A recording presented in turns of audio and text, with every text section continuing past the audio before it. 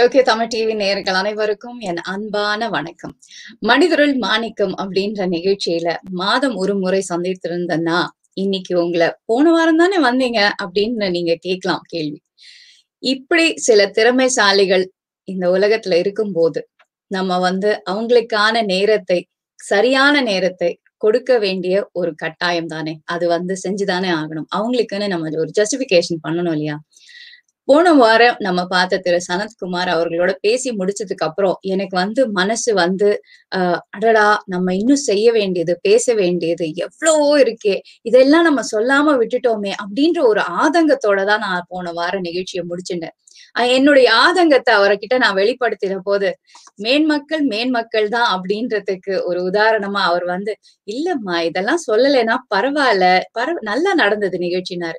எனக்கு மனசு ஆறல. இல்லைங்கயா நீங்க பண்ணிருக்கிற வேலை நீங்க பார்த்திருக்கிற மனிதர்கள் உங்களுடைய அனுபவங்கள் இது எல்லாமே உலகுக்கு சொல்லியே ஆகணும். உங்களை போன்ற பெரிய மக்கள் இருக்கிறதுனாலதான் இந்த உலகம் இன்னும் இந்த அளவுக்கு சுழன்று சுபிக்ஷமா இருக்கு அப்படின்றதுக்கு நீங்க எல்லாம் ஒரு எடுத்துக்காட்டு சொல்லியே ஆகணும் அப்படின்னு நான் கொஞ்சம் வற்புறுத்தினதுனால என்னுடைய ஆதங்கத்தை தீர்க்க இன்னைக்கு அவருடைய பரபரப்பான வாழ்க்கையில இருந்து மறுபடியும் எனக்காகவே ஒரு ஒரு மணி நேரம் ஒதுக்கி இன்னைக்கு என்னோட வந்து இணைஞ்சிருக்காரு திரு சரத்குமார் அவர்கள். இன்னைக்கு நம்மளுடைய நிகழ்ச்சியில போன வாரம் அவருடைய ஆஹ் பிறந்ததுல இருந்து அவருடைய பள்ளிக்கூடம் அதாவது கேம்பிரிட்ஜ் பள்ளி கேம்பிரிட்ஜ் பப்ளிக் ஸ்கூல் பத்தின விவரங்கள் அங்க படிக்கிற மாணவர்கள் செய்யும் வேலைகள் என்ன விவசாயத்தை எப்படி அவர் எடுத்துக்கொண்டு போகிறார் மாணவர்களுக்கு அடுத்த தலைமுறையினர் அவர்களுக்கென்ற வாழ்க்கையை எப்படி வாழ வேண்டும் என்பதை ரொம்ப ஒரு ஹொலிஸ்டிக்கா அவங்க எடுத்துட்டு செல்ற இந்த பள்ளிக்கூடத்தை பத்தி நம்ம பார்த்தோம். இன்னைக்கு நாம பார்க்க போறது திரு. சனத்குமார் அவர்கள் பள்ளிக்கூடத்தை தாண்டி அவர் என்னெல்லாம் செஞ்சிருக்காரு செஞ்சுட்டு இருக்காரு அவருடைய இன்ட்ரெஸ்ட் என்ன இதுல நிறைய சர்ப்ரைசஸ் எல்லாம் இருக்கு உங்களுக்கு இன்னைக்கு நிகழ்ச்சியில. நிகழ்ச்சிக்குள்ள போயிடலாம்னு நினைக்கிறேன். நான் பேசுறதை விட அவர்கிட்ட பேசி தெரிஞ்சுக்க வேண்டிய விஷயங்கள் நிறையவே இருக்கு இன்னைக்கு. வாங்க திரு சனத்குமார் அவர்களை அன்போடு அழைத்துக் கொள்கிறேன் இன்னைக்கு. வணக்கம் வணக்கம் ஐயா. வணக்கம். வணக்கம். என்னுடைய என்னுடைய அழைப்புக்கு ஏற்று இன்னைக்கு மறுபடியும் ஒரு ஒரு மணி நேரம் எனக்காக கொடுத்ததுக்கு ரொம்ப ரொம்ப நன்றி ஐயா. உங்களுடைய பரபரப்பான வாழ்க்கை. உங்களை பண்றதுல ரொம்ப சந்தோஷம். ரொம்ப ரொம்ப சந்தோஷம் ஐயா. இந்த ஒரு ஆசைனால எனக்கு வந்து நீங்க ரொம்ப மனசறிங்க என்னோட வந்து சேர்ந்திருக்கீங்க. இன்னைக்கு நிகழ்ச்சி நான் ஏற்கனவே சொன்னா போல உங்களுடன் நீங்க பார்த்த பல பிரபலங்கள் அவர்கள் மூலமாக இந்த பள்ளிக்கூடத்துக்கு நீங்க செஞ்சுட்டு வர தொண்டுகள் இதை பத்தி பேச போறோம். அத வந்து எப்படின்னா புகைப்படங்கள் நிறைய சேகரிச்சு வச்சிருக்கோம். அந்த புகைப்படத்தை காமிக்கிறேன். அதுக்கு ஏத்த மாதிரி நீங்க எங்களுக்கு என்னன்னு சொன்னீங்கன்னா நல்லா இருக்கும் அப்படின்னு நினைக்கிறேன். நம்மளுடைய முதல் பாவ புகைப்படத்துக்கு போலாமே. உங்களுடைய பள்ளிக்கூடம் கேம்பிரிட்ஜ் இ பள்ளிக்கூடத்தை தெரிந்து வைத்த இதோ திரு அப்துல் கலாம் அவர்கள் வந்து இந்த இது வந்து நைன்டீன் டூ தௌசண்ட் தேர்ட்டீன்ல நம்ம Bharat Ratna doctor A P J Abdul Kalam எங்கள் ஸ்கூலுக்கு வந்திருந்தாரு. வந்து அக்ரிகல்ச்சர் அண்ட் ஆர்கானிக் ஃபார்மிங்கை வந்து அதை வந்து இனாகிரேட் பண்ணுறாரு இனாகிரேட் பண்ணுறப்போ வந்து நான் சொல்லியிருந்தேன் இது போல் அக்ரிகல்ச்சருக்கு ரெக்கக்னிஷன் கிடைக்கணும் ஸ்கூல் லெவலில் கற்றுக் கொடுக்கணும் அப்படின்றப்ப நான் நிச்சயமாக வந்து செய்கிறேன் அப்படின்னு சொல்லியிருந்தாரு. அப்போ வந்து அதை அதை ஓப்பன் பண்ண ரிப்பன் பண்ண ஓப்பன் பண்ணிட்டு நான் பின்னால இருந்தேன். முன்னால வர சொல்லிட்டு உள்ள நீங்க முன்னால போங்கன்னாரு. எனக்கு ரொம்ப ஷையா இருந்தது. ஏன்னா பயங்கர கூட்டம். சுத்தூரும் ஆயிரக்கணக்கான ஜனங்க இருக்காங்க. சார் நீங்க முன்னால போங்கண்ணா. இல்ல சார் நீங்க தான் முன்னால போகணும். இல்ல இல்ல நீங்க தான் முன்னால் போகணும். நான் பின்னால வரேன்னு சொல்லிட்டு அப்புறம் போனோம். அதுக்கு அடுத்து அவர் என்ன பண்ணாரு? எதிர்பார்க்காத மாதிரி நான் உங்க வீல் சேரை வந்து தள்ள போறேன் இன்னைக்கு. நான் புஷ் பண்ண போறேன்னாரு. ஐயோ கடவுளை. நான் எங்கேயாவது இன்னும் ரொம்ப பத்து அடி இருபது அடி முன்னால போயிடலாமான்னு பார்த்தேன். ஏன்னா பசங்க தான் முன்னால எப்பவுமே அழிச்சிட்டு போவாங்க. அன்னைக்கு பசங்களை சைடு பண்ணிட்டாரு அவரு. பண்ணிட்டு அந்த என்டையர் ஏரியாவும் அவரு வீல் சேரை தள்ளிட்டே வந்தாரு. எல்லாம் பாக்குறப்ப எனக்கு ரொம்ப கஷ்டமா இருந்தது. எவ்வளவு பெரிய மனுஷன். இந்த மாதிரி த கொஞ்சம் பேர் பாவம். நம்ம ஸ்கூல்ல டீச்சர்ஸ் ஃப்ரெண்ட்ஸு பப்ளிக் பார்த்துட்டு நிறைய பேர் கண்ணில் தண்ணி வந்துடுச்சு. அது இவ்வளவு ஒரு என்ன அவர் அவருடைய பெருமைக்கு அதை வந்து அளவே இல்லை. அந்த அதுதான் இந்த போட்டோ ஞாபகம் வருது இப்போ. கண்டிப்பா. எனக்கு அந்த புகைப்படத்துல இன்னும் ஒண்ணு நான் பார்த்தது வந்து உங்களை சுத்தி இருக்கிறவங்களும் வந்து அவ்வளவு சந்தோஷமா சிரிச்சு கை தட்டிட்டு எல்லார் முகத்திலயும் ஒரு புன் சிரிப்பு. ஏன்னா அவர் உங்களுக்கு தள்ளிட்டு வர அந்த நிகழ்ச்சி. அவர் கூட இருக்கும்போது அவங்களுடைய சந்தோஷம் எல்லாமே. உண்மைதாங்க. இன்னைக்கு கூடங்க எட்டு வருஷம் ஆயிப்போச்சு. இன்னைக்கு கூட கலாம வந்து டாக்டர் கலாம் அப்துல் கலாம் ஐயாவை வந்து காவேரிப்பட்டினம் எங்க சின்ன கிராமம் சவளூர்ன்ற கிராமத்துக்கு அழிச்சிட்டு வந்ததுக்கு உங்களுக்கு தான் நன்றி செலுத்தணும்னு சொல்லுவாங்க வந்து. ஏன்னா என்னைக்கு நாங்க எல்லாம் அவரை போய் பார்க்க போறோம் அப்படின்னு சொல்லுவாங்க வந்து. அந்த அளவுக்கு அவருக்கு ரொம்ப பெருமை. அதே போல அவர் அவரோட உக்காந்தாங்கல்ல பசங்க எல்லாம் உட்காந்தாங்க ஸ்டேஜ்ல இல்ல. அவரோட அஞ்சு பசங்க உட்காந்தாங்க அவங்க எல்லாம் இன்னைக்கு பள்ளிக்கூடத்துல இல்ல. அவங்க எல்லாம் வெளிய வெளியில போய் பெரிய படிப்பு எல்லாம் படிச்சுட்டு இருக்காங்க. அவங்க பேரண்ட்ஸ் எல்லாம் வந்து எப்ப பார்த்தாலும் எவ்வளவு பெரிய பெருமையை வந்து எங்களுக்கும் எங்க குழந்தைங்களுக்கும் நீங்க கொடுத்துருக்கீங்க. அதனாலேயே இந்த குழந்தைங்க இன்னும் சிறப்பா சீரும் சிறப்பமா இருப்பாங்க அப்படின்னு சொல்லுவாங்க. அது ரொம்ப நெகிழ்ச்சியா இருக்கும். நான் போய் இந்த வயசுல அவர் பக்கத்துல உட்கார்றத விட அந்த சின்ன குழந்தைங்க உட்காரப்போ அதுதான் ரொம்ப இம்பார்ட்டன்ட் அந்த வாய்ப்பை வந்து நம்ம அவங்களுக்கு ஏற்படுத்தி கொடுக்கணும் இல்லையா? அதுதான் அந்த அந்த போட்டோவுடைய ஒரு பார்ட் தேங்க்யூ ரொம்ப ரொம்ப அருமையான போட்டோ இதை தொடர்ந்து அன்னைக்கு அவர் தொடங்கி வைத்த அந்த பள்ளியில இப்ப அந்த மாணவர்கள் செய்யும் சில வேலைகளை இந்த புகைப்படம் மூலமா பார்க்க போறோம். Balaji sir photos two to five please இதோ அவர் ஆரம்பிச்சு வச்ச அந்த பள்ளிக்கூடத்துல இன்னைக்கு உங்க மாணவர்கள் விவசாயத்துல இறங்கி பண்றாங்க. இது பார்க்கும்போது கண்கொள்ளா காட்சியா இருக்கு. ஆமாங்க. அதாவது ஸ்கூல் பசங்க பாருங்க இந்த வயசுலயே அவங்க வந்து விவசாயத்தை கத்துக்கிறது அந்த எதுலயும் அந்த சேத்துல கால் வச்சாதான் வந்து சோத்துல நம்ம கைய வைக்க முடியும்னு சொல்லுவாங்கல்ல. இதெல்லாம் இந்த வயசுல குழந்தைங்க கத்துக்கிட்டாங்கன்னா அதனுடைய விவசாயத்தை அருமை பத்தி ரொம்ப நல்லா தெரிஞ்சுவாங்க. கடைசி வரைக்கும் அவங்க வந்து எனக்கு என்னன்னா உடல் நலத்தோட இருப்பாங்க அப்படின்ட்டு. பாருங்க எவ்வளவு அன்பு. நம்ம சாப்பிடுறத நாமளே விளைவிக்கிறோம் அதை விட என்ன சந்தோஷம் வேண்டி இருக்கு. அதாவது ஒரு இருபத்தஞ்சு வயசுல ஒரு ஆள் படிச்சுட்டு வேலைக்கு போயிட்டு தன் சம்பாத்தியத்துல அம்மா அப்பாவுக்கு ஏதோ வாங்கி கொடுக்குறாங்க. வீட்டுக்கு செலவு பண்றதுக்கு எவ்வளவு ஒரு பெருமையா இருக்கும்ல. அதே போலதாங்க இது வந்து நாமளே நம்ம ஒரு கிராம இதுல விவசாயத்தை பண்ணி உழுது அதனுடைய பலனை வந்து நம்ம அனுபவிக்கிறப்போ இதெல்லாம் ரொம்ப முக்கியம். நான் என்னமோ இது ரொம்ப முக்கியம்னு நினைக்கிறேன் லைஃப்ல வந்து. அப்பார்ட் ஃப்ரம் சயின்ஸும் வேணும் அதாவது கெமிஸ்ட்ரி வேணும் பிசிக்ஸ் வேணும் எல்லாம் வேணும். கூட விவசாயம் வேணும். ஒரு படி மேல விவசாயம் வேணும்னு நினைக்கிறேன். இல்லையா? கண்டிப்பா. கண்டிப்பா கண்டிப்பா. இல்ல நீ அந்த பிள்ளைங்க வச்சிருந்த அந்த காய்கறிகளை பார்க்கும்போது அவ்வளவு பெரிய பெருசு பெருசா முருங்க- முருங்கைக்காவும் எல்லாம் ஃப்ரெஷ்ஷா இருக்கு. அது பார்க்கும்போது ரொம்ப ஆசையா இருக்கு. அந்த பீர்க்கங்காய்லாம் நான் அவ்வளவு பெருசா பார்த்ததே கிடையாது. எவ்வளவு அழகா இருக்குன்னு இப்ப ஆமா இன்ஆர்கானிக் இல்லைங்க. அது அதாவது இயற்கை விவசாயம். ஆமா இப்ப நான் சொன்ன சப்ஜெக்ட்ஸ் சொன்னேன் இல்லைங்களா? கெமிஸ்ட்ரி பிசிக்ஸ் ஆகட்டும் மத்த எல்லாமே. அதெல்லாம் நாலேஜ் பட் இது வந்து health health health point I give always top priority for health healthy முகத்தை வந்து நம்ம புன்சிரிப்பிலேயே பார்த்துடலாம் இல்லையா? ஆமா அந்த பிள்ளைங்களை அவ்வளவு சந்தோஷமா பெருமையா தூக்கிட்டு இருந்தாங்க. அந்த ட்ரேவை வச்சு போட்டோக்கு பெருமையா பாத்துட்டு ஆமாங்க. இருக்காங்க. அவ்வளவு. எல்லாம் அவங்க ஆமா எல்லாம் அவங்க உழைப்புனால வந்தது. அது எவ்வளவு பெரிய பெருமையான விஷயம் இல்லையா? இந்த குழந்தைங்களுக்கு கொஞ்சம் பெரிய குழந்தைங்க இவங்க வந்து நாலாவது அஞ்சு மூணா மூணாவது நாலாவது படிக்கிறாங்க. ஆறாவது ஏழாவது படிக்கிறவங்களுக்கு இதை மார்க்கெட் பண்ண கூட தெரியும். ஆமா அதனுடைய விலை என்ன வெயிட் அது கூட தெரியும்.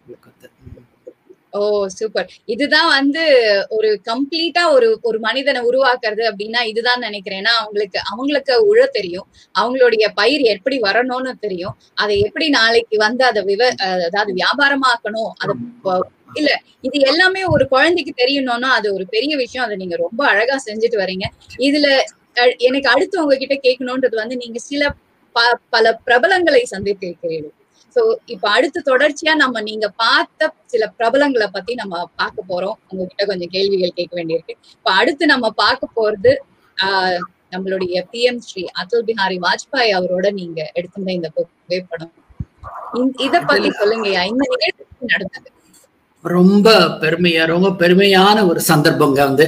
அவரோட வந்து கிட்டத்தட்ட ஒரு முப்பத்தஞ்சு வருஷத்துக்கு மேல ஒரு முப்பத்தஞ்சு ஒரு நாற்பது வருஷம் ஒரு நல்ல ஒரு தொடர்புல இருந்ததுங்க.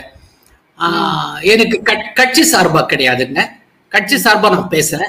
ஒரு ஒரு தனி மனிதர் இந்தியால ஒரு இந்தியன் அப்படின்னு ஒரு ப்ரௌடா சொல்லக்கூடிய ஒரு நல்ல ஆள்ல நம்ம கண்ட்ரி ஈண்டெடுத்த ஒரு ஒரு ரொம்ப ஒரு உன்னதமான ஆள். தன் சுயநலமற்ற தன்னலமற்ற ஒரு அர அதை விட ரொம்ப டீசென்டான ஒரு பொலிட்டிஷியன் அடல் பிஹாரி வாஜ்பாய். அவருடைய அஃப்கோர்ஸ் எனக்கு வந்து அவர் பி- ஹிந்தியில பேசுறதோ ஒரு பீகாரில பேசுறதோ எனக்கு எதுவுமே அர்த்தம் ஆகாது. அப்போ எனக்கு வந்து பன்னெண்டு வயசு இருக்கும். அவருடைய ஸ்பீச்சஸ் வந்து நான் பெங்களூர்ல கேட்டிருக்கேன். கேட்டு அப்படியே சொக்கி போயிட்டேன். அப்ப நினைச்சேன் புரிஞ்சா எவ்வளவு நல்லா இருக்கும்? புரியாமையே.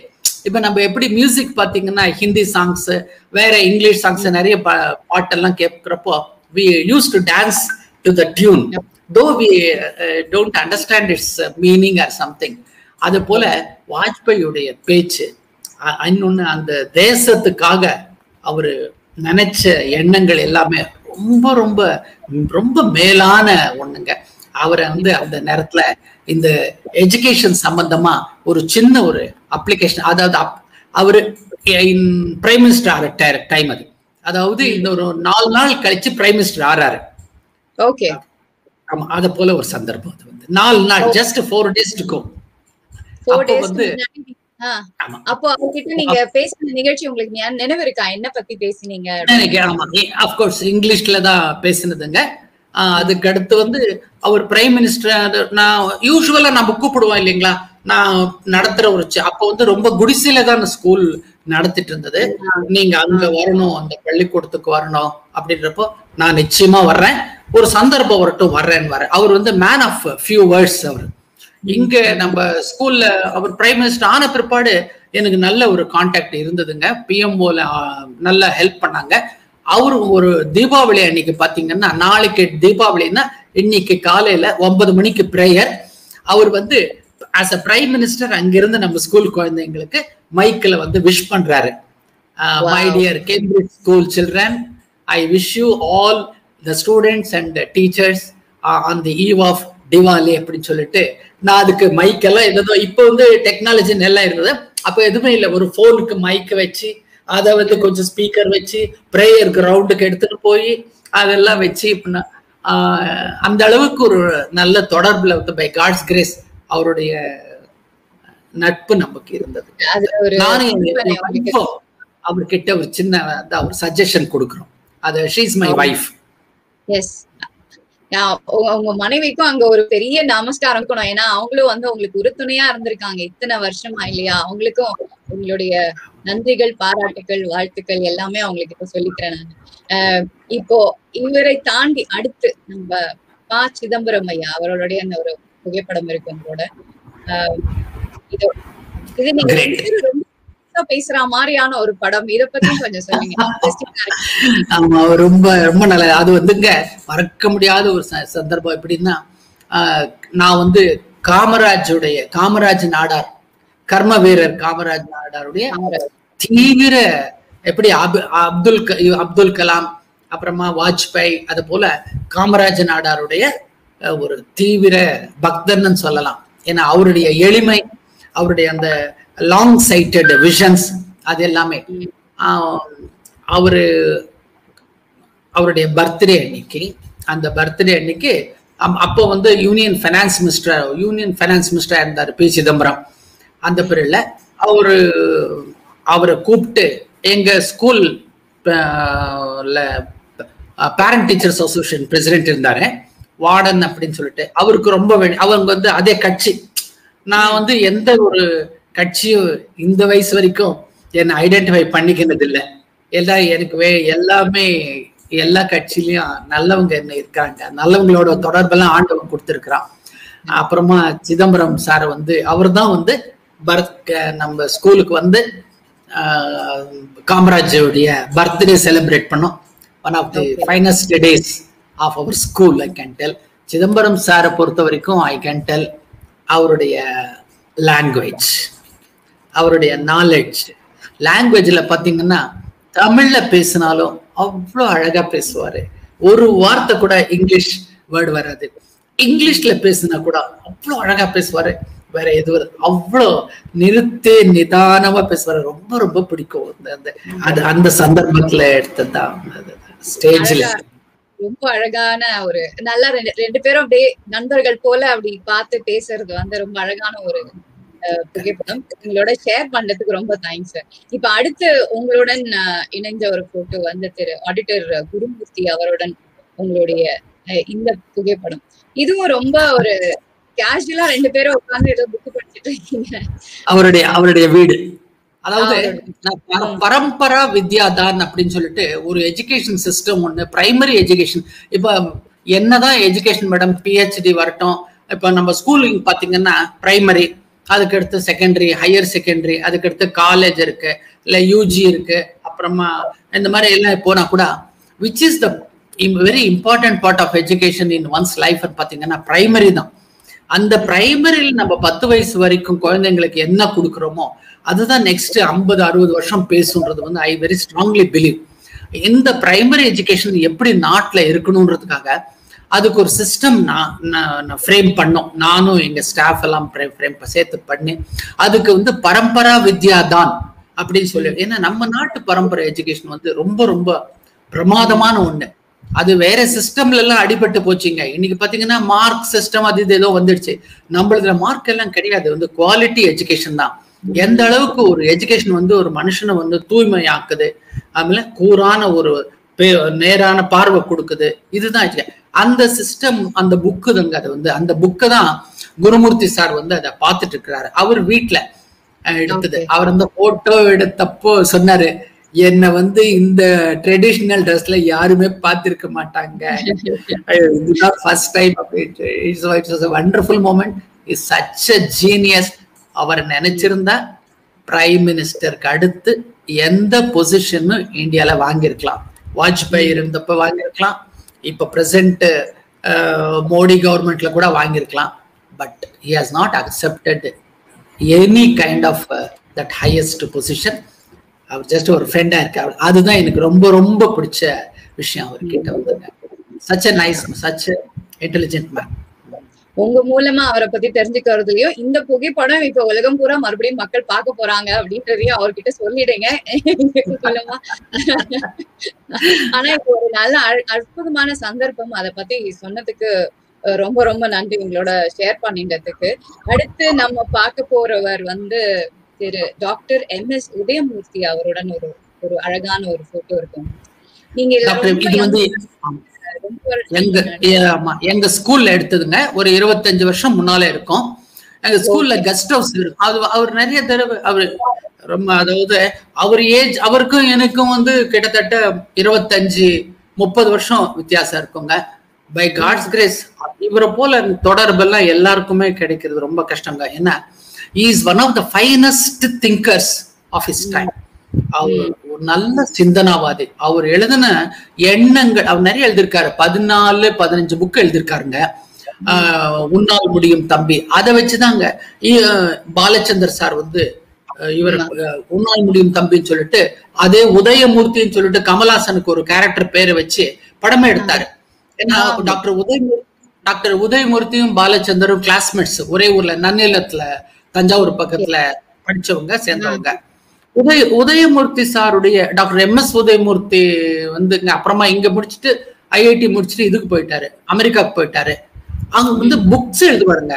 அதுல வந்து ரொம்ப பிரமாதமான புக் வந்துங்க. மோட்டிவேஷனல் ரைட்டிங்ஸ் அப்படின்னா எனக்கு தெரிஞ்ச தமிழ்ல one of the excellent writers அது அப்படியே டிரான்ஸ்லேட் பண்ணணும் இங்கிலீஷ்ல அப்படின்னுட்டு நான் நினைச்சுன்னுக்கேன் யாரையாவது வச்சு. அந்த அளவுக்கு என்னன்னா அந்த எண்ணங்கள் அப்படின்ற புக் ஸ்பெசிபிக்கா அதை படிச்சு நிறைய பேரு அவங்க தற்கொலை விளிம்பில் இருந்து காப்பாத்தி வெளியில வந்துட்டு இன்னைக்கு நல்ல பொசிஷன்ல இருக்காங்க.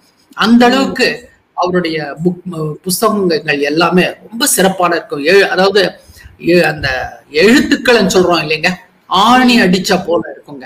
ஒரு லைன் ரெண்டு லைன் தான். அவ்வளவு பிரமாதமா இருக்கும். ரொம்ப டீப்பா நம்மள வந்து அது வந்து பாதிச்சிடுங்க அந்த அளவுக்கு. ஒரு நேரம் கிடைக்கிறப்போ எல்லாருக்குமே கொடுக்கணும். அந்த எண்ணங்கள் எஸ்பெஷல் நிறைய புக்ஸ் இருக்கு. அதுல குறிப்பிட்ட எண்ணங்கள் அப்படின்னு சொல்லிட்டு. எண்ணங்கள். ஓகே ஓகே கண்டிப்பா அவரு படிக்கிறோம். ஸ்கூல்ல வந்து நிறைய தங்கி இருக்காருங்க ஸ்கூல்ல அது இந்த போட்டோ எடுத்த பீரியட் வந்து கிட்டத்தட்ட ஒரு வாரம் நம்ம ஸ்கூல்ல தங்கி அவர் புக்க புக் எழுதுறதுக்கு ஒரு நேரத்தை எடுத்துக்கினாரு. ஆஹ் ஆனா கண்டிப்பா உங்களுடைய பள்ளி சூழலும் அந்த மாதிரி இருக்கு. இப்ப ஆனந்தமய்யோட படம் எல்லாம் போன வாரம் நம்ம பார்த்த போது பேசின போது அது பார்க்கும்போது எங்களுக்கே வந்து அங்க கொஞ்ச நேரம் அமைதியா உட்காரணும் அப்படின்ற ஒரு சூழலை நீங்க அழகா அமைச்சிருக்கீங்க அப்படின்றதுதான் உண்மை. ஆஹ் அவரை பத்தி கொஞ்சம் சொன்னது எங்களுக்கு ரொம்ப பெருமையா இருக்கு. எண்ணங்கள் அப்படின்ற புத்தகத்தை எனக்கு தெரியும். நம்ம நேர்களும் சரி நானும் சரி படி- படிக்கணும் அப்படின்ற யூனிவர்சிட்டியில வச்சிருக்காங்க. தமிழ்நாடு கவர்மெண்ட் யூனிவர்சிட்டியில அவருடைய புக்ஸ் வச்சிருக்காங்க. நாங்க என்ன பண்ணுவோம்? அவருடைய ஆறாவது ஏழாவது எட்டு ஒன்பது பத்து பதினொன்னு எல்லாத்துக்குமே ஒரு ஒரு புக் வச்சுட்டோம் நான். நான் நம்ம ஸ்கூல்ல வந்து நான் டீடைலா வச்சிருந்தேன் ஓகே இது இது இது மாதிரி எல்லா பள்ளிக்கூடத்துலயும் போச்சுன்னா இந்த பல நல்ல சிந்தனைகள் வந்து போய் சேரும் நிச்சயமா எல்லா பள்ளிக்கூடத்தையும் பண்ணா நல்லா இருக்கும் இதுன்னு நினைக்கிறேன். நிச்சயமா நிச்சயமா நல்லா இருக்கு நிச்சயமா, ஓ, நன்றிங்க. அது எங்களோட பகிர்ந்ததுக்கு இப்ப அடுத்து நம்ம பார்க்க போறவர் வந்து டாக்டர் மயில்சாமி அண்ணாதுரை அவர்கள். இப்பதான் சமீபத்துல ஆஹ் உங்க பள்ளிக்கூடத்துக்கே வந்திருக்காரு. இவரை பத்தி இப்ப நான் சமீபத்துல நிறைய கேள்விப்பட்டிருக்கோம். நீங்க சொல்லுங்கய்யா. ஆமாமா of course such a simple man down to earth our Padma Bhushan Padma Shri national award international repute person அவர் உலக அறிந்த ஒரு பெரிய சயின்டிஸ்ட் இல்லை விஞ்ஞானி. அதுவும் சந்திரயான் சந்திரயான் ப்ராஜெக்ட் டைரக்டர் ஆன பிற்பாடு அப்பதான் நான் நினைக்கிறேன் அதுக்கு கிடைச்ச ஒரு ரெக்கக்னிஷன் அந்த அதாவது அமெரிக்காவுக்கு வந்து அமெரிக்கால இருந்து நாசா வந்து அனுப்பிச்சிச்சு அப்போலோ அப்படின்னுட்டு இதுக்கு அனுப்பிச்சு. மூன் மிஷன் அப்படின்ட்டு. இந்தியா எல்லாம் அது கனவுல கூட கற்பனையே பண்ண முடியாதுன்ற நிலைமை ஒரு நாள் இருந்தது. ஆனா இப்போ இஸ்ரோ இல்லையா? India space research organisation ISRO மூலமா அண்ணாதுரைக்கு அந்த ப்ராஜெக்ட் கொடுத்துட்டு மயில்சாமி அண்ணாதுரைக்கு அந்த ப்ராஜெக்ட் கொடுத்துட்டு அதை ரொம்ப சக்சஸ்ஃபுல்லா நம்ம வந்து அந்த மூன் மிஷன் சேட்டலைட் அனுப்பிச்சோம். அது அது போன பிற்பாடு பாத்தீங்கன்னா தமிழ்ல எல்லா மேகசின்லயும் அவரை பத்தி வர ஆரம்பிச்சிருச்சு. இப்படி ஒரு கிராமத்துல பிறந்தவர் ரொம்ப ஒரு ஏழ்மை குடும்பத்துல பிறந்தவர் தன்னுடைய பிரெயினை யூஸ் பண்ணி ஒரு ஆர்வத்தை யூஸ் பண்ணி இந்தியாக்கே ஒரு பெருமை வாங்கி கொடுத்து மூ- சந்திரனுக்கு அனுப்பிச்ச ஒரு சேட்டலைட்ல அமெரிக்காவுக்கு அடுத்து வந்து நாம தான் அப்படின்றத வந்து யாரும் நினைச்சு கூட பார்த்துருக்க மாட்டாங்க. அந்த அளவுக்கு இந்தியாவுடைய பெருமையை இவரால் தான் எடுத்துன்னு போக முடியுது. அதுக்கடுத்து மார்ஸுக்கு எல்லாம் போச்சுன்னு வச்சுக்கோங்க. ஆனா அந்த அளவுக்கு இவர் ரொம்ப சக்சஸ்ஃபுல்லா செஞ்சுட்டு எல்லாருடைய கவனத்தையும் அந்த இஸ்ரோ பக்கம் திருப்பி இன்னைக்கு சயின்டிஸ்ட் ஆகணும் அப்படின்னு ஒரு ஆர்வத்தை ஏன்னா ஒரு காலத்துல பாத்தீங்கன்னா நூறு பேர் இருப்பாங்க ஒரு இடத்துலன்னா சொல்லுவாங்க சார் அவர் ஒருத்தர் சயின்டிஸ்ட் அப்படின்னு ஒருத்தர் சொன்னா மேத்தமேட்டிஷியன் இருப்பாங்க இங்கிலீஷ்லயும் லாங்குவேஜ்லயும் தமிழ் இதுல எல்லாம் லிட்ரேச்சர்ஸ்ல எல்லாம் ஜாயின்ஸ் எல்லாம் இருப்பாங்க. ஆனா சயின்டிஸ்ட் அப்படின்னு ஒருத்தர் வந்தா ஓ இதெல்லாம் ஆகலாம் நம்மளால சயின்டிஸ்ட் மட்டும் ஆகுறது ரொம்ப ரொம்ப கஷ்டம். சயின்டிஸ்ட்னா ஏதோ தனியா ஒரு மூளை எக்ஸ்ட்ரா எங்கேயோ வந்திருக்கும். இந்த மாதிரி ஜனங்களுக்கு வந்து ஒரு நினைப்பு. அதாவது இன்னைக்கு கூட பாத்தீங்கன்னா சின்ன பசங்க விளையாண்டு இருப்பாங்க. பிளேன் மேல போச்சுன்னா அந்த சவுண்ட் பார்த்து எல்லாம் மேல பார்ப்போம் இல்லையா? அது என்ன இருந்தாலும் ஒரு தனி இது ஒரு ஆஹ், ஒரு ஆக்க சக்தி தான் அது. அது வந்து மயில்சாமி அண்ணாதுரை பார்த்து இன்னைக்கு நிறைய பேர் வந்து தான் ஒரு சயின்டிஸ்ட் ஆகணும் ஸ்பேஸ் ரிசர்ச் பண்ணணும் அப்படின்னு சொல்லிட்டு எங்க ஸ்கூலுக்கு இவர் அழைச்சிட்டு வந்ததுனால ஸ்கூலுக்கு மூலமா எல்லாத்துக்கும் தெரிய வந்தது. நம்ம ஸ்கூல்லயே நிறைய பேர் ஸ்பேஸ் ரிசர்ச் சயின்டிஸ்ட் ஆகிறதுக்கு படிச்சிட்டு இருக்காங்க. படிச்சுட்டு மேல போயிருக்காங்க. அவங்கெல்லாம் இன்னொரு பத்து பதினஞ்சு வருஷத்துல பெரிய லெவலுக்கு வருவாங்க. இவ்வளவு ஆயிரம் பேர் இன்னைக்கு வந்து ஆயிரக்கணக்கான பேர் லட்சக்கணக்கான பேர் இந்தியால வந்து இன்னைக்கு ஆனா கூட அதுக்கு எல்லாமே மூல காரணம் வந்து டாக்டர் மயில்சாமி அண்ணாதுரை தான். அவர் ஆரம்பிச்சு வச்சது. எந்த பேக்ரவுண்டும் இல்லை. கடவுள் கொடுத்தது அவர் நல்ல ஒரு சயின்ஸ் சயின்டிபிக் நாலேஜ் வச்சுட்டு எங்கேயோ போய் அழிச்சிட்டு போயிட்டாரு இந்தியாவை. கிரேட் அக்கேஷன் அவர் வந்து நம்ம ஸ்கூலுக்கு வந்து அவர் நம்ம ஸ்கூலுக்கு வந்து நம்ம ஸ்கூல் பசங்களுக்கு வந்து டீச் பண்றாருன்னா அது உண்மையிலே இது நான் எல்லாம் ஒரு கருவி தாங்க ஜஸ்ட் ஐ எம் டூல் கடவுளுடைய ஆசீர்வாதம் இருந்தாதாங்க இதெல்லாம் இருக்கு. யாரோ செஞ்ச புண்ணியம் சொல்லுவாங்களே அதெல்லாம் நடந்ததாங்க. நம்ம டாக்டர் அப்துல் கலாம் சாருக்கு மயில்சாமி அண்ணா வந்து very soft corner in his heart. Very very soft corner. Yeah. ரெண்டு பேரும் ஒரே டைப் ஒரே ஆமா அவங்க அப்படி ஒரு விசினரிஸா இருந்தாங்க. அவங்க அத வந்து அவங்க செயல்படுத்தினாங்க. அது உங்க பள்ளிக்கூட பிள்ளைங்க எல்லாம் வந்து ரொம்ப கொடுத்து வச்சிருக்காங்க. இப்பேற்பட்ட மாமனிதர்களை சந்திச்சு அவங்களுடைய பேச்செல்லாம் கேட்கறதுக்கு நீங்க ஏற்பாடு பண்ணி கொடுத்துருக்கீங்க. இது ஒரு பெரிய விஷயம் ஐயா. பெரிய பெரிய விஷயம். நான் அப்பப்போ நினைக்கிறது ஏதோ ஒரு ஆர்வம் தாங்க இதெல்லாம் வந்து. நம்மள ஏதோ ஒரு ஊக்கு ஊக்குவிக்குதுங்க. இந்த மாதிரி. அதுதான். இது இப்போ சயின்டிஸ்ட் இஸ்ரோ பத்தி பேசியிருக்கப்ப அடுத்து உங்களுடைய இசை இசையுடைய இசையோடைய உங்களுடைய கனெக்ஷன் திருமதி சுதா ரகுநாதன் அவர்களுடைய இருந்த ஒரு போட்டோ அத வந்து பார்க்கலாம். அதாவது எங்க குடும்பமே ஒரு இசை குடும்பம் தான் ஏன்னா எங்க ஊர்ல வந்து முருகர் கோயில் இருக்கு. அந்த முருகர் கோயிலுக்கு வந்து தைப்பூசம் அன்னைக்கு வந்து ஃபங்க்ஷன்ஸ் நடக்கும். ஒரு வாரம் நடக்கும். அதுல நிறைய கச்சேரிகள் பண்றதுக்கு பெரிய பெரிய மியூசிஷியன்ஸ் எல்லாம் வருவாங்க. எம் கே தியாகராஜ நான் சொல்றது ஆயிரத்தி தொள்ளாயிரத்தி அறுபது அறுபதுலன்னு வச்சுக்கோங்க தியாகராஜ பாகவதர் அதே போல கே பி சுந்தராம்பாள் அப்புறம் பெங்களூர் ரமணி அம்மாள் அப்படின்னு சொல்லிட்டு அரும குன்னக்குடி வைத்தியநாதன் அதுக்கடுத்து எம்டி ராமநாதன் இந்த போல ஆளுங்கள்லாம் வந்திருக்காங்க வந்து. வந்து என்ன பண்ணுவாங்க? எங்க வீட்டுல தான் தாங்குவாங்க. எங்க தாத்தா பெரிய மியூசிக் லவர். எங்க வீட்டுல தங்கி அப்புறம் தான் அங்க போவாங்க. அவங்க அந்த கச்சேரிக்கு போவாங்க. அவரு அவங்களை கூட்டின்னு வந்து அவங்கள வந்து எங் நம்மளுக்காக ஆடியன்ஸ் வீட்டுல ஒரு பத்து பேருக்காக பாட வைக்கிறது ஐம்பது பேருக்கு அதெல்லாம் ஒரு ரொம்ப பெருமையான ஒரு அப்பெல்லாம் இந்த சின்ன பிறந்து அதை பார்த்து பார்த்து எனக்கும் அதே போல எங்க குடும்பத்துல எல்லாருக்குமே அந்த மியூசிக் இது வந்ததுங்க. இந்த ஃபங்க்ஷன் வந்துங்க டைரக்டர் வசந்த் வந்து சனத் அப்படின்னு சொல்லிட்டு ஒரு ட- இது ஷார்ட் டாக்குமெண்ட்ரி எடுத்தாரு. நைன்டீன் சாரி டூ தௌசண்ட் செவன்டீன்ல எடுத்தாரு. ஒரு இருபது நிமிஷம் பத்தொன்பது நிமிஷம் டாக்குமெண்ட்ரி அது. ஷார்ட் ஷார்ட் ஃபிலிம் ஷார்ட் ஃபிலிம்னு சொல்லுவாங்க. அந்த ஃபில்ம் வந்து மெட்ராஸ்ல வந்து வசந்த் ஸ்கிரீன் பண்ணாரு. அந்த ஃபங்க்ஷனுக்கு சுதா ரங்கநாதன் வந்திருந்தாங்க. வந்து தான் ஆனர் பண்ணது. அந்த ஷார்ட் மூவி வந்து நேஷனல் அவார்டு வாங்கிச்சு. இந்தியால த பெஸ்ட் ஷார்ட் ஃபில்ம்னு சொல்லிட்டு என்னுடைய பெரிய பொண்ணு தான் சார் என்னுடைய செகண்ட் டாக்டர் தான் ஸ்கிரிப்ட் எல்லாம் பண்ண அப்படியே பவித்ரான்னு சொல்லிட்டு பெரிய பொண்ணு பிரிய பிரியதர்ஷினின்ட்டு அவங்க தான் அதனுடைய ப்ரொடியூசர் அது வசந்த் சார் தான் டைரக்டர் வசந்த் உங்களுக்கு தெரியும் ஒரு ஃபேமஸான ஒரு நல்ல அற்புதமான ஒரு அற்புதமான ஒரு டைரக்டர் ரொம்ப வித்தியாசமா எல்லாரும் போல இல்ல வித்தியாசமான டைரக்ட் டைரக்டர் பாலச்சந்தர் பட்ரையில வந்தவர். டெல்லியில பிரணாப் முகர்ஜி பிரசிடென்டா இருந்தார் அப்போ. வைஸ் வைஸ் பிரசிடென்டா வந்து வெங்கையா நாயுடு இருந்தாரு. அந்த ஃபங்க்ஷன்ல தான் என்னுடைய பெரிய பொண்ணும் வசந்த் சாரும் நேஷனல் அவார்டு வாங்கினாங்க. அந்த ஃபங்க்ஷனுக்கு இந்த அது ஸ்கிரீன் பண்ற ஃபங்க்ஷனுக்கு இவங்க சுதா ரகுநாதன் வந்திருந்தாங்க. சூப்பர் சூப்பர் அந்த அந்த படம் வந்து ஷார்ட் ஃபிலிம் நான் பார்த்தேன். அது ஒரு பிரமாதமான ஷார்ட் ஃபிலிம் அது. நேஷனல் அவார்ட் கண்டிப்பா கிடைச்சதுக்கு அது ஒரு பெரிய பெருமை. அண்ட் அது மூலமா நிறைய நல்லது வரணும் அப்படின்றதுதான் அதை பார்த்து முடிச்ச உடனே எனக்கு தோணித்து இன்னைக்கு கொஞ்சம் நிறைய மாற்றங்கள் நம்ம நாட்டுல தேவைப்படுது அப்படின்றதுக்கான ஒரு சரியான ஒரு குறும்படமா தான் அது அமைஞ்சது.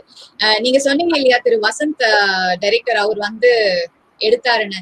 எங்களுடைய டோக்கியோ தமிழ் டிவிக்காக அகமும் புறமும்னு ஒரு நிகழ்ச்சியில உங்க பள்ளிக்கூடத்துல இருந்து அவர் எங்களுக்கான இன்டர்வியூ கொடுத்தாரு அந்த நிகழ்ச்சியில. அவர் உங்க பள்ளிக்கூடத்துல இருந்துதான் அவர் வந்து எங்களோட அந்த அன்னைக்கு நிகழ்ச்சி கலந்து கொண்டேன் அப்படின்னு அன்னைக்கு சொன்ன சொன்னாரு அது.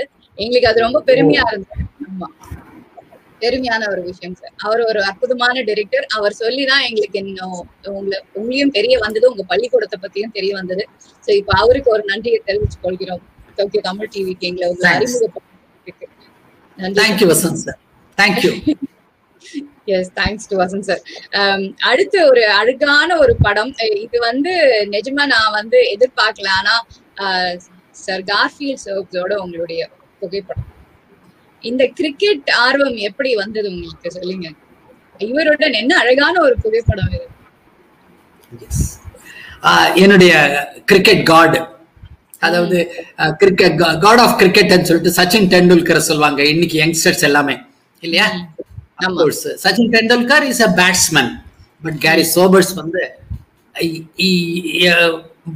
ever best.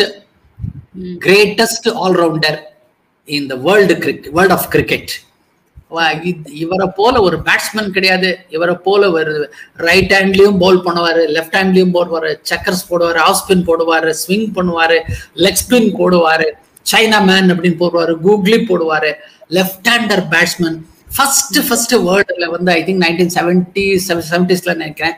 மால்காம் நாஷ்ன்ற பவுலருக்கு இங்கிலாந்துல சிக்ஸ் பால்ல வந்து சிக்ஸ் சிக்ஸ் அடிச்சு அடிச்சோம் ஃபர்ஸ்ட் பர்சன் இவர் தான் ஆறு பால்ல வந்து he smashed all the balls six sixers அதாவது அவருடைய ஃபீல்டு பண்றப்போ இந்த பக்கம் அறுபது அடி அந்த பக்கம் அறுபது அடி. ஒரு ஹண்ட்ரட் அண்ட் டுவெண்ட்டி ஃபீட்டுக்கு எந்த ஃபீல்டருமே வேணாம். அந்த அளவுக்கு ஒரு நம்பகமான ஃபீல்டர் லைட்னிங் ஸ்பீட் கேச்சஸ் எடுக்கிறதாகட்டும் த்ரோ பண்றதாகட்டும் அதே போல பவுலிங்ல ஆகட்டும். பவுலிங்கில் டூ ஹண்ட்ரட் ஃபார்ட்டி விக்கெட்ஸ் மேலே எடுத்திருக்காரு. கேச்சஸ் வந்து ஒரு ஹண்ட்ரட் அண்ட் டுவெண்ட்டி கேச்சஸ் மேலே எடுத்திருக்காரு. ரன்ஸும் அன்னைக்கு காலத்தில் பார்த்தீங்கன்னா கேரி சோபர்ஸ் எடுத்தது தான் ஆறாயிரத்தி எட்நூறு சில்லற அது போல எடுத்திருந்தாருங்க. ஹையஸ்ட் ஸ்கோர் பார்த்தீங்கன்னா முன்னூத்தி அறுபத்தஞ்சு ரன் பண்ணியிருக்கிறாரு அது சிக்ஸர்ஸ் சொன்னேன் ஆறு பால் சிக்ஸர்ஸ் அது எவ்வளவோ தடவை வெஸ்ட் இண்டீஸ் மோசமான பொசிஷன் இருந்தப்ப இவர் வருவாரு. நாலு டவுன் அஞ்சு டவுன் வருவாரு. அடிச்சு நொறுக்கிட்டு போயிடும். சச் அ கிரேட்டஸ்ட் ஆல்ரவுண்டர் அவருடைய பேர்ல வந்து பதினெட்டு வருஷம் நான் வந்து கிரிக்கெட் கிளப் நடத்திட்டு இருந்தேன்.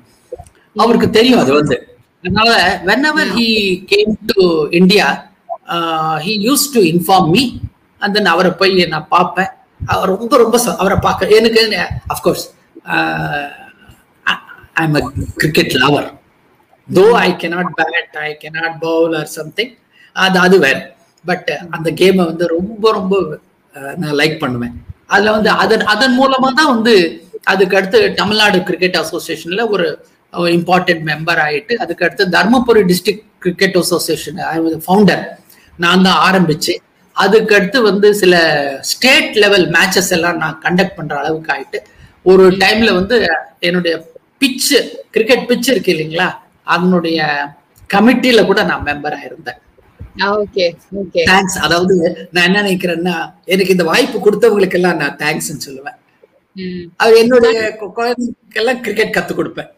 நானே பேட்டு பால் எல்லாம் வாங்கி கொடுத்து அந்த ரோட்ல யாராவது விளையாடிட்டு இருந்தாங்கன்னா போதும். ரொம்ப நிறுத்தி நீண்ட நிதானமா அவங்களோட உட்காந்து பார்த்து அவங்களுக்கு சொல்லி கொடுத்து அவங்களுக்கு கிரிக்கெட் கியர் எல்லாம் வாங்கி கொடுத்து அதை ஊக்குவிப்பேன். Every Sunday I use to go and attend the matches and then organise the matches cricket வந்து ஜஸ்ட் ஒரு சின்ன ஒரு பையன் நிக்கர் போட்டுட்டு ஒரு பத்து பசங்க விளையாட்டு இருந்தா கூட போதும்.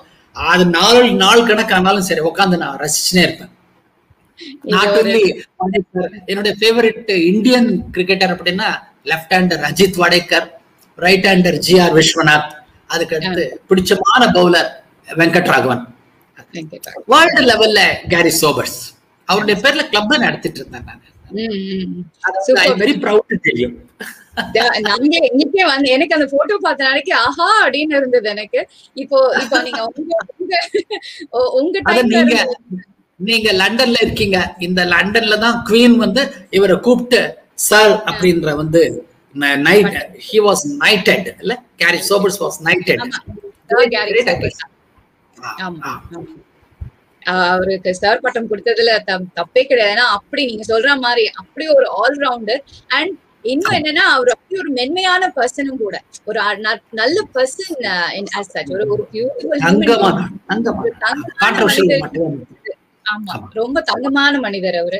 சோ அற்புதமான அழகான ஒரு புகைப்படம். இதை தாண்டி இப்ப நம்மளுடைய இப்ப சிஎஸ்கே இப்ப ஐபிஎல் வேற நடந்துட்டு இருக்கு. இது தொடர்பா ஒரு போட்டோ உங்களுக்கு ஒண்ணு போட போறேன். நம்மளுடைய தலை தோனியோட உங்களோட ஒரு போட்டோ இருக்கு பாலாஜி சார் தோனி கூட இருக்கிற போட்டோ இதோ beautiful photo this is this is wonderful photo என்னுடைய ஃபேமிலி மெம்பர்ஸ் தமிழ்நாடு கிரிக்கெட் அசோசியேஷன்ல அஃப்கோர்ஸ் தோனி. தோனியை வந்து யாருக்கு பிடிக்காது? உலகம் பூரா பிடிக்கும். அதாவது உலகம் பூரா இந்தியன்ஸ் மட்டும் இல்ல. உலகம் பூரா இருக்கிறவங்க தோனியை விரும்புவாங்க. ஏன்னா is a coolest person and then one of the best captains in the world அதை எனக்கு ரொம்ப பிடிச்சது என்னன்னா இந்தியால இந்தியா ப்ரொடியூஸ் பண்ண கேப்டன்ஸ்ல தோனி ஸ்டாண்ட்ஸ் ஃபர்ஸ்ட் அவ்வளவு கூல் பர்சன் யாரையுமே பார்க்க முடியாது.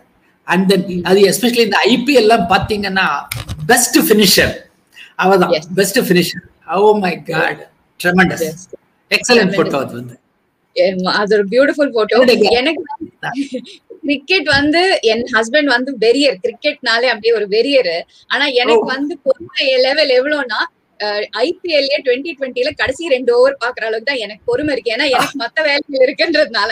ஆனா Dhoni change my perception of cricket எனக்கு அவர் விளையாடுறாருன்னா தோனி காட்டுங்க அஹ், நான் பார்க்கணும் அப்படின்னு சொல்லி. ஏன்னா he change the way he thinks எனக்கு அவர் மேல அவர் எப்படி யோசிக்கிறாருன்றதுதான் எனக்கு வந்து இனிமே ஆச்சரியமா இருக்கும். எப்படி இந்த இடத்துல அவர் பொசிஷன் பண்ணானா இன்னைக்கு விக்கெட் விழும் அப்படின்னு அவர் எப்படி யோசிக்கிறாரு.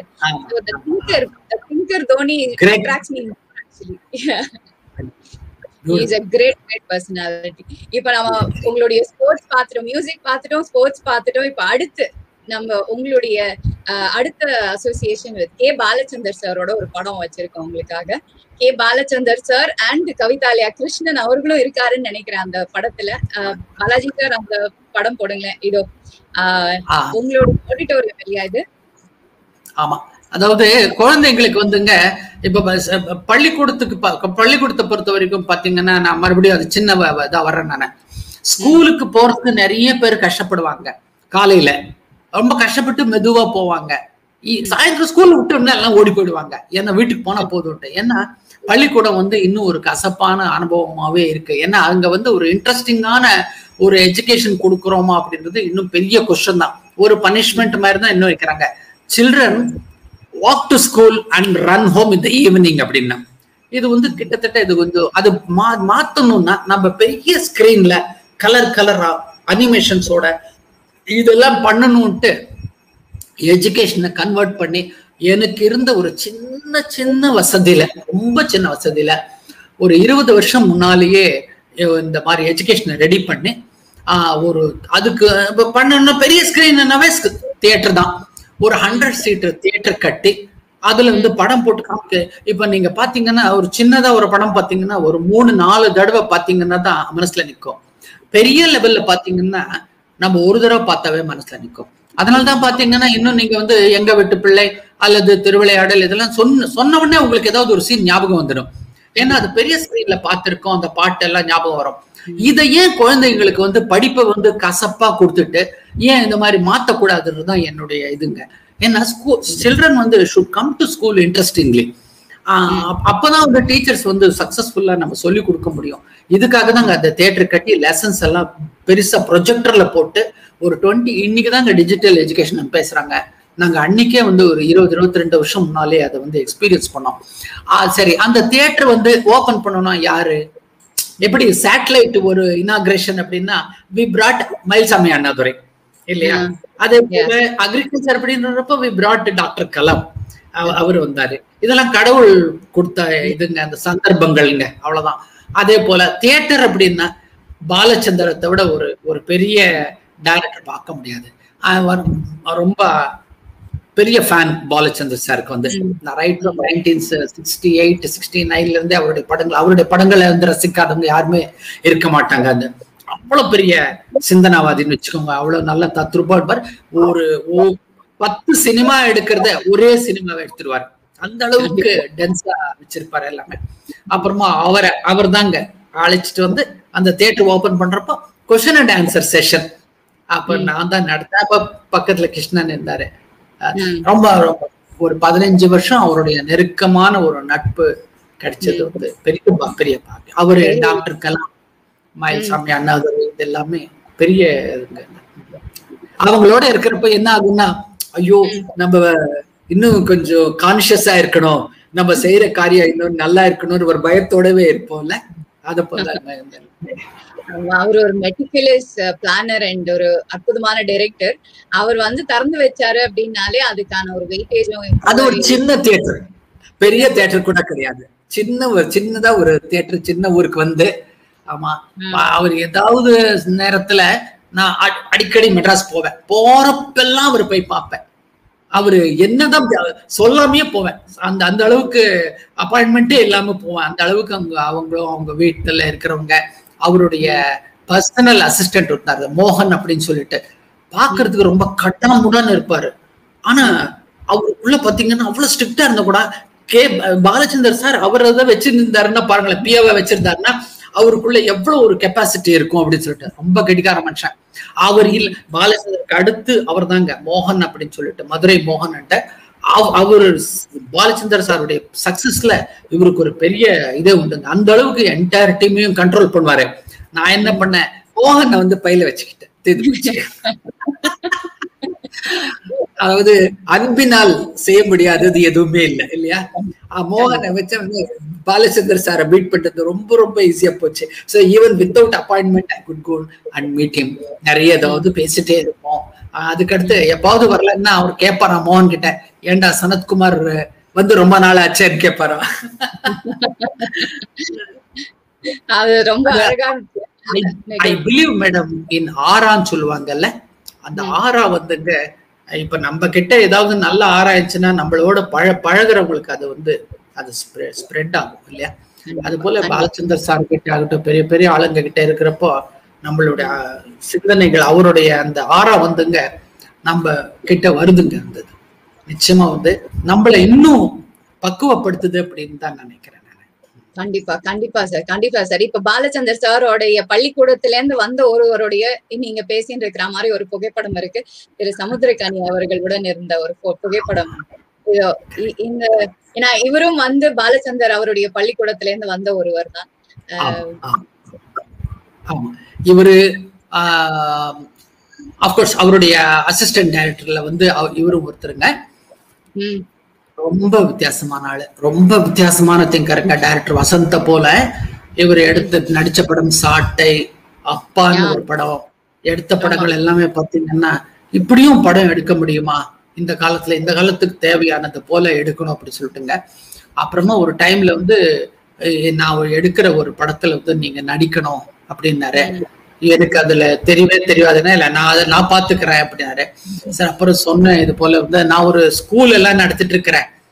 ஆஹ் என் ஆக்டிங் அது இதுன்னு வந்து வேற ஏதாவது மாதிரி ஏதாவது வந்துட போகும் அப்படின்னா இல்ல இல்ல அந்த இமேஜ் உங்க ஸ்கூல் இமேஜை விட இன்னொரு பெரிய இமேஜ் வர்ற மாதிரி தான் நான் வந்து உங்களுக்கு ரோல் கொடுக்குறேன்னு சொல்லிட்டு அவர் நடிச்ச படத்துல எனக்கு ஒரு முக்கியமான ரோல் கொடுத்தாருங்க. ஒரு ஏழு எட்டு ஷாட்ல வர்ற மாதிரி. அதாவது இவர் ரொம்ப கோபக்காரரு தப்பு செய்யறவங்களை அடிக்க போவாரு கொலை பண்ண போவாரு. அந்த நேரத்துல இவருடைய நான் வந்து இவருக்கு குருன்ற மாதிரி நான் வருவேன் அந்த இடத்துல. நீ இந்த மாதிரி நேரத்துல தப்பு செய்யக்கூடாது. உனக்கு செய்ய வேண்டியது நிறைய இருக்கு. நீ இதை விட்டுட்டு போலீஸ் கிட்ட விட்டுட்டு போயிடுன்னு சொல்றோம் அந்த மாதிரி ஒரு அவருடைய குரு ஸ்தானத்தை மேல வச்சு நம் ஒரு அன்பு போல ஒரு ரோல் கொடுத்தாருங்க அந்த தொண்டன் அப்படின்னு ஒரு படம். ஐ டோ ரிமெம்பர். அவர் இவர் வீட்டுல எங்க வீட்டுக்கு வந்திருந்தாரு. அப்போ அந்த போட்டோ நல்ல போட்டோ அது வந்து ரியலி அழகான போட்டோ ரொம்ப நல்ல கண்டிப்பா கண்டிப்பா. சூப்பர் எக்ஸ்பீரியன்ஸ் சார் உங்களுக்கு. இப்போ இதெல்லாம் நம்ம சவுத் இந்தியா சினிமால பார்த்துட்டு அப்படியே நேரம் நார்த்துக்கு போக போறோம். இப்போ அடுத்த ஒரு புகைப்படம் ஆச்சரியமான ஒரு புகைப்படம் திரு அபிஷேக் பச்சன் அவருடன் சேர்ந்து. இது எப்படி ஒரு தோனி தமிழ்நாடு கிரிக்கெட் அசோசியேஷன்ல மீட் பண்ணி அது ஒரு சந்தர்ப்பம்.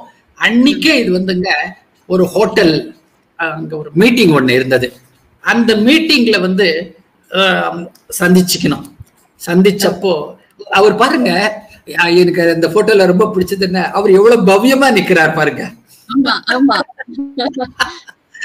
அது கொஞ்ச நேரம் பேசிட்டு அப்புறமா அவர் கேட்டாரு என்ன ஏது எல்லாம் விசாரிச்சுட்டு இருந்தாரு.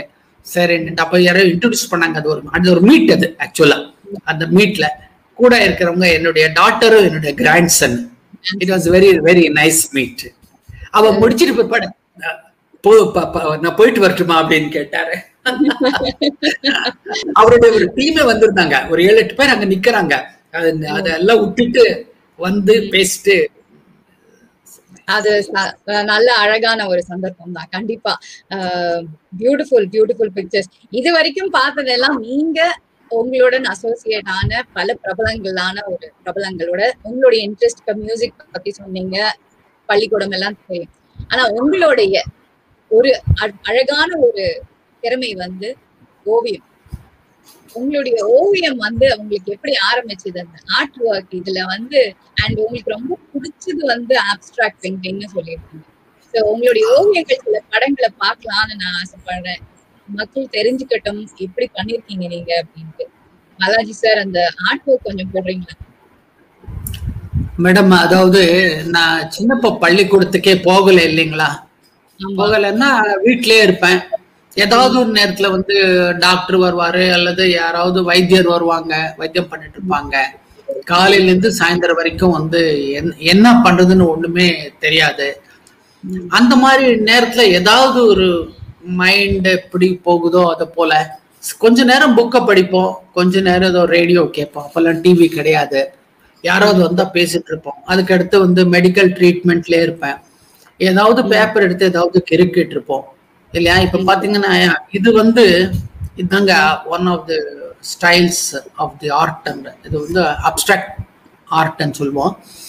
இது நீங்க பாத்தீங்கன்னா ஒருத்தொருத்தர் மைண்ட்லயும் ஒரு ஒரு விதமான எண்ணங்கள் ஓடுங்க வந்து. இது மோஸ்ட்லி சைக்கலாஜிக்கல் சென்டர்ல எல்லாமே சைக்கியாட்ரிஸ்ட் யூஸ் பண்ணுவாங்க. இது நான் கேள்விப்பட்டிருக்கேன் ஒரு சில இடத்துல பார்த்துருக்கேன் இது வந்து இதையே நான் மறுபடியும் வர வரைய முடியாது. அது அத போலுங்க அந்த மைண்ட் செட்ல அந்த நேரத்துல வந்து நான் என்னத்தை எழுதுறேனோ இதை எப்படி எழுதுனேன் அப்படின்றதெல்லாம் சொல்றதுக்கு ரொம்ப நேரம் ஆகுங்க. ஏன்னா பலவிதமான இன்ஸ்ட்ருமெண்ட்ஸ் கலர்ஸ் கொண்டு வந்து நான் போட்ட கலர்ல இதுல ஒண்ணு கூட இல்லைங்க. அது அதான் மிக்ஸ் ஆயிட்டு ஒரு ஸ்பீட்னாலையும் ஸ்பீட்னால ஸ்ப்ரெட் ஆறுது அதுக்கு அடுத்து வந்து ஒரு ஷேக் ஆறுதுனால அது ஆன பிற்பாடு ஒரு ரெண்டு மணி நேரம் கழிச்சு இது வந்து நிக்குங்க இது போல வந்து. இதை வந்து ஒரு ஷேப் பண்ணி நான் இதை கொண்டுறது it is called abstract painting அப்படின்னு சொல்லிட்டுங்க.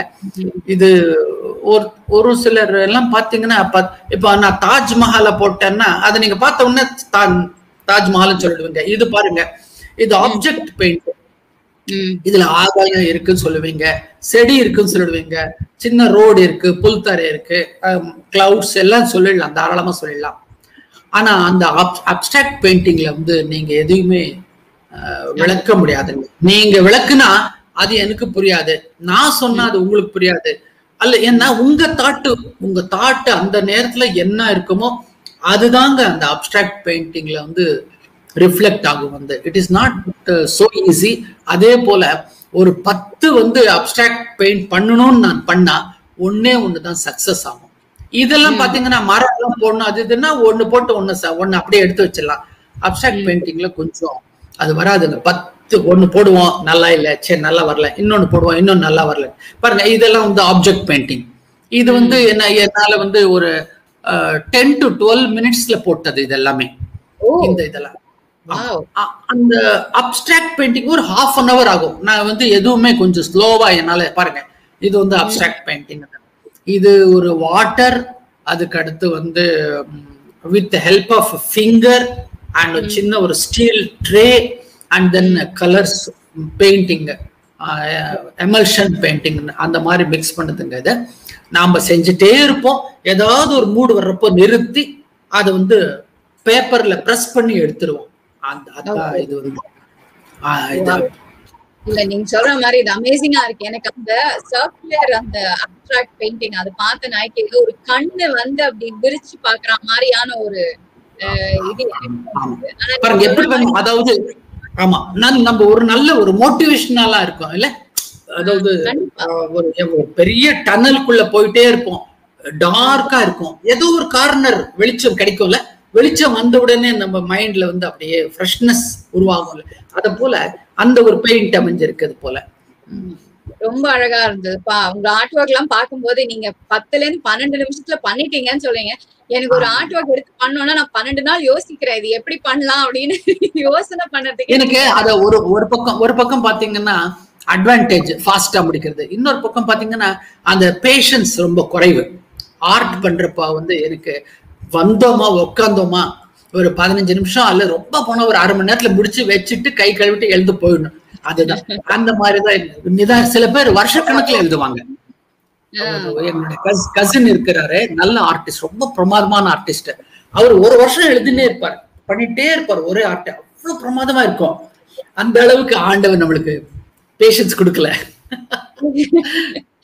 நீங்க இவ்வளவு நிறைய பண்ணும்போது நடுவுல இந்த ஆர்ட் ஐ திங்க் உங்களுக்கு அது ஒரு விதமான ஒரு என்ன சொல்றது time out from everything ஒரு ஒரு காமா உட்கார்றதுக்கு அந்த ஒரு பத்து நிமிஷம் உங்களுக்கு தேவைப்படுது. அதை நீங்க ரொம்ப அழகா கலர்ஃபுல்லா யூஸ் பண்ணிருக்கீங்க உங்களுடைய ரெண்டுமே ரொம்ப அற்புதமா இருக்கு சார் அப்டிராக்ட் பெயிண்டிங்கும் சரி சப்ஜெக்டிவ் பெயிண்டிங்கும் சரி ரெண்டுமே ரொம்ப அழகா இருக்கு. இப்போ நம்ம நிகழ்ச்சி வந்து பரபர பரபரான்னு இவ்வளவு அழகா போயிட்டு இருக்கு உங்களை பத்தி இவ்வளவு தெரிஞ்சிட்டோம். கடைசியா எனக்கு வந்து நான் காமிக்கணும்னு ஆசைப்படுறது வந்து மறுபடியும் உங்களுடைய பள்ளிக்கூடம் உங்களுடைய பள்ளி ஆஹ், செல்வங்கள். இவர் மாணவ செல்வங்கள் செய்யும் சில வேலைகள். அது மூலமா ஆஹ் எந்த அளவுக்கு நீங்க கத்து கொடுத்தது வந்து அவங்க வீட்டுக்கு எடுத்து போயிருக்காங்க அப்படின்றதுக்கான ஒரு புகைப்படம் இப்ப வந்திருக்கு நமக்கு. ஆஹ் பாலாஜி சார் அடுத்து ஒரு ரெண்டு மூணு போட்டோஸ் இருக்கு. பாருங்க கொடுங்க இது வந்து சொல்லுங்க சார் இது பிள்ளைங்களுக்கு. வாரத்துல ரெண்டு பீரியட் வந்து அக்ரிகல்ச்சர் கொடுப்போம். சொல்லி கொடுப்போம். அப்ப அதுல ஒரு பீரியட் வந்து குழந்தைங்க வந்து இது போல நாலு நாலு குழந்தைங்க சேர்ந்து ஒரு ஒரு இடத்துல ஒர்க் பண்ணிட்டே இருப்பாங்க. அந்த மாதிரி ஒரு ஒரு பீரியட்ல தான் இவங்க வந்து ஐ திங்க் முள்ளங்கி அறுக்குறாங்கன்னு நினைக்கிறேன் இவங்க. ஆமா. முள்ளங்கி பயிரிட்டு இருக்காங்க மண்ணெல்லாம் இவங்களே ரெடி பண்ணி தண்ணி ஊத்தி ரெடி பண்ணி விதை நட்டு அதுக்கு டெய்லி தண்ணி ஊத்தி அதுக்கு அடுத்து வந்து ஒரு ஒன்று ஒன்று பாருங்க இதெல்லாம் இது மாதிரி செஞ்சுட்டு முள்ளங்கி பாத்தீங்கன்னா கிட்டத்தட்ட ஒரு மாசம் ஒன்றரை மாசம் ஆகும் வர்றதுக்கு. அப்ப Okay. பறிக்கிறதாகட்டும். இந்த பீரியட் எல்லாமே ஒரு குழந்தைங்க ரொம்ப இன்ட்ரெஸ்டா செய்வாங்க வந்து. ரொம்ப ரொம்ப ஆர்வமா இருப்பாங்க இந்த அக்ரிகல்ச்சர் கிளாஸஸ் அட்டென்ட் பண்றதுக்கு வந்துங்க. இந்த வாரத்துல ஏழு தினத்துக்கு ஏழு பீரியட் அப்படின்னா ஒரு பீரியட் இதுக்கு வந்துருவாங்க பசங்க வந்து.